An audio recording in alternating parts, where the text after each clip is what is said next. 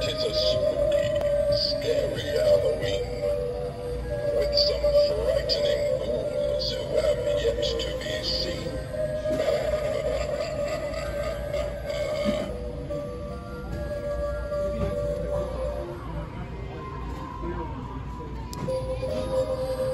Oh, hello. Would you mind sharing some of your A bit empty.